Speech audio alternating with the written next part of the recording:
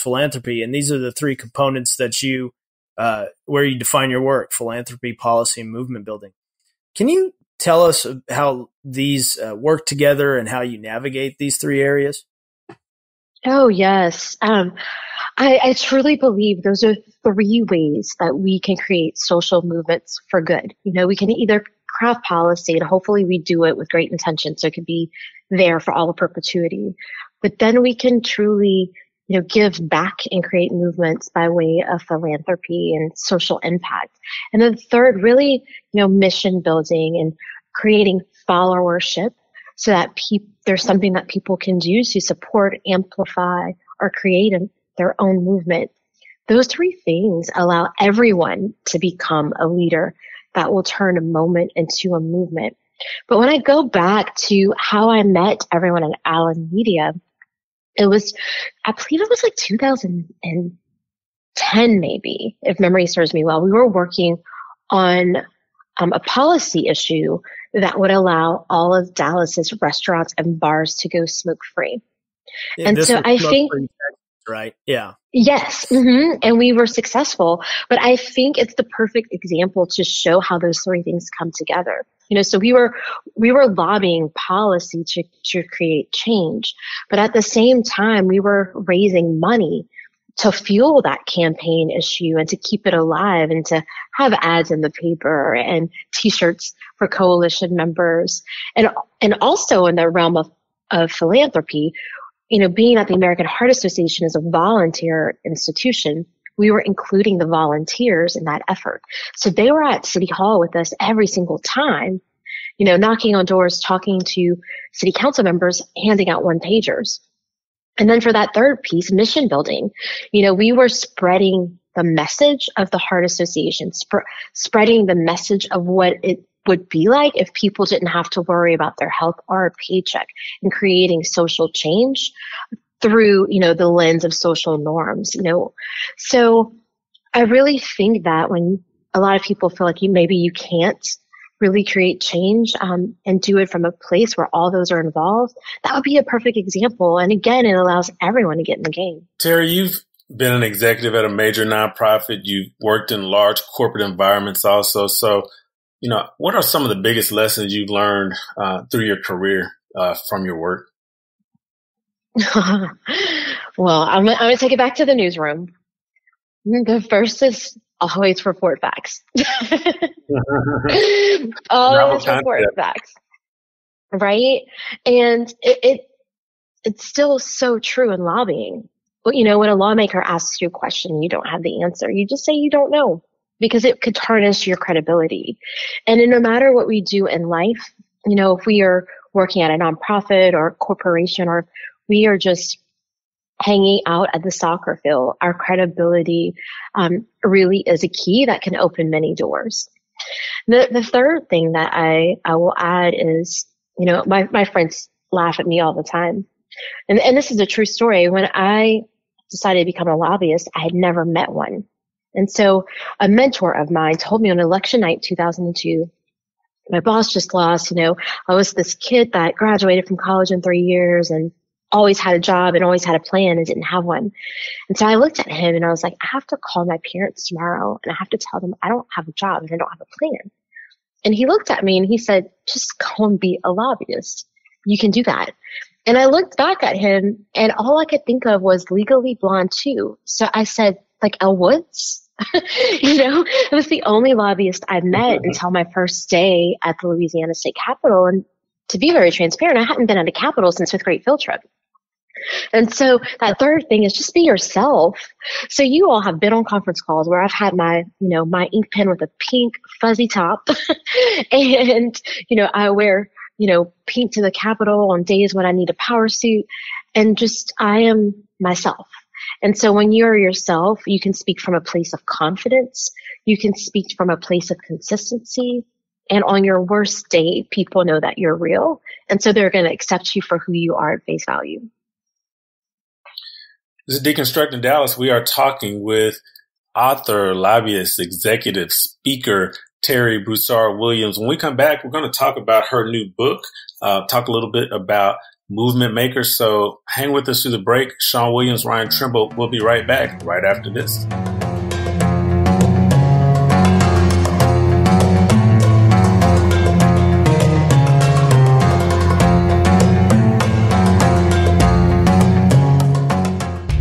Does your family love mac and cheese?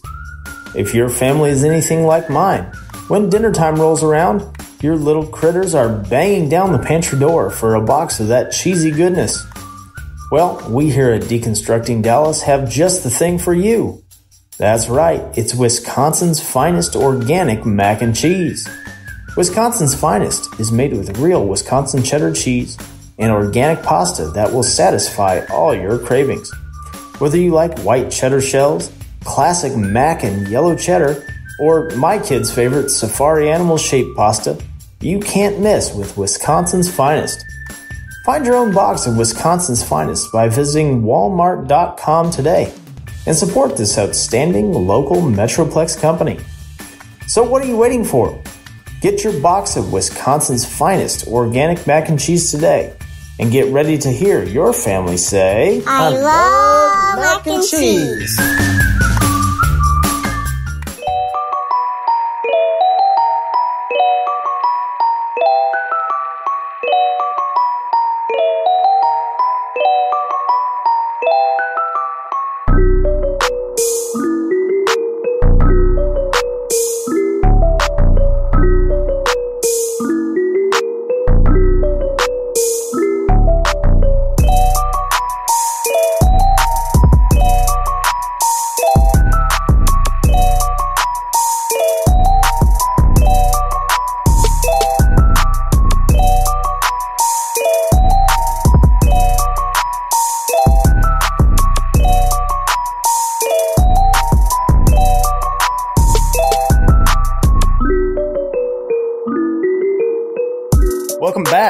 Deconstructing Dallas, Ryan Trimble, Shawn Williams.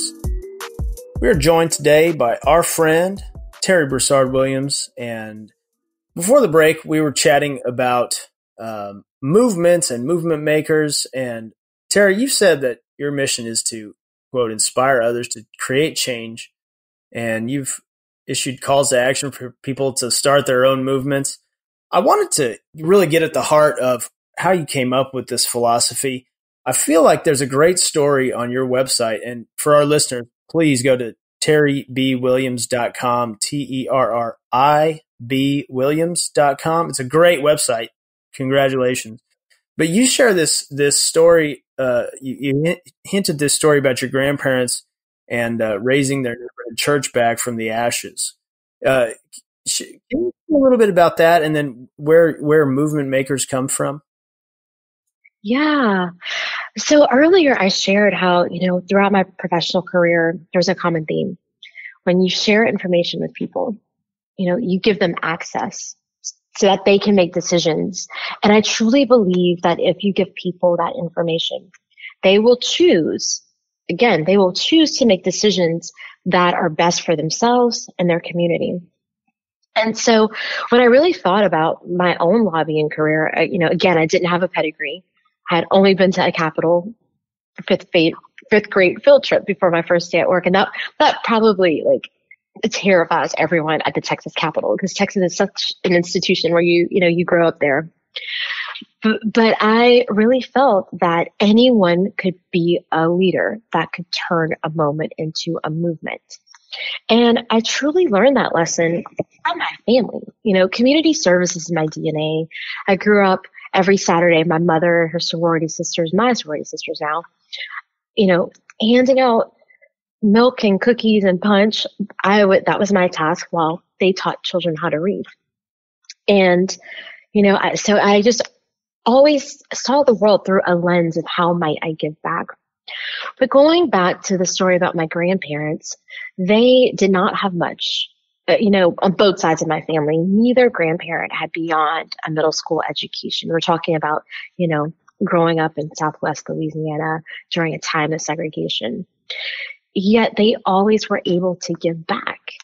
And my grandparents, my mother's parents, did have a car. They could afford to have a car, but they might not always take that car because, you know, it costs money to put gas in the tank. But for the longest time, they would watch families just walk on the side of the road for, you know, five, six miles to get to church. So they, along with a couple of neighbors, said, you know, how might we raise a church in our community, the neighborhood called Truman, Louisiana? And so they did just that. You know, I say the cafeteria manager and the school janitor became church builders. And about 10 years ago, almost 11, the church burned down. And so my family teases, it was a month after I got engaged. I'm an LSU Tiger. I got engaged to a, a University of Texas basketball player. They're like, you know, you're not supposed to mix school conferences. so the church burns down and my parents then step up and say, if not us, then who? Who will continue the legacy of building this this movement. And so my my mother and my father got very engaged. My father led the capital campaign. He made sure the church stayed on budget that the operations were on point you know everything was happening. And, and so you know i'm so reminded again that anyone could build a movement but I was, I'm also reminded every time I walk through the doors of that church that the movements we create, the legacies that we build, they are not for us, right? They're not even for everyone that we know. They're for the people that we don't know. So just three months after the church doors opened, we buried my father in that church. And, you know, so truly the people that got to enjoy that church are people he never knew. Terri, you know, I know that there are more inspiring stories like that in your new book, Find Your Fire Stories and Strategies to Inspire the Change Maker Inside You. As Ryan has um, alluded to, people on this, listening to this podcast, definitely need to check out your website. They can learn a little bit more about your book, which I learned some things even that you've gone through through um, through this period of time, including t- changing jobs and getting a master's degree getting hit by a sofa and suffering a traumatic yeah. injury. So a lot of things that have happened to you, but I, you know, I want our listeners to, to know about your book and, uh, and, you know, maybe some of the takeaways they can get from, from, uh, reading it. Yes. Oh my gosh. Writing this book was such a labor of love. I was in school working on my master's at the University of Pennsylvania and decided to go back to just to double down on theories that are tied to, you know, social change and spent some time serving as a teaching fellow there. I, I love that institution so much. Um, and did get hit in the head by a sofa. I was literally lobbying during the Congressional Black Caucus and was at a legislative reception when a man thought his cell phone was underneath the sofa. And it was one of those, you know, like, this was in DC. DC. And it was one of those sofas that they bring in for an event.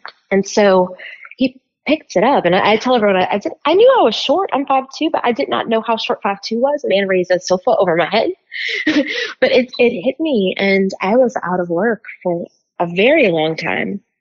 And it was during that time that I just felt, um, just felt this calling that I needed to learn something new. I needed to do something different. And that was when I made the switch to corporate lobbying in the tech sector. Wanted to do it because I feel like technology is a way that we can really change people's lives and create generational wealth. And I'm so happy I did it. I learned so much over the last year. But I was writing a book throughout all of this. So the book, as it started, definitely changed over the last couple of months I worked on it. So I, I tell everyone, if you truly are looking to find your fire, you got to get a little pun in but don't know how you want to do it. Or you might need that little booster shot just to feel like you, you have all the tools and you can do it. It's the perfect book for you. I uh, created what I call the fire starter formula, which are just four C's, finding your cause, building a collective of people that can help you achieve your goal, communicating and serving as a cultural ambassador for the movement that you want to move. And then really doing the work, which is creating the change and using that lens to help you create any type of movement that you want. And, and so I, I really tell people there are different ways that you can be part of movement building. You might choose to build a movement. We need people that, You know, they see things that others ignore and they take action and they create change. But we also need people that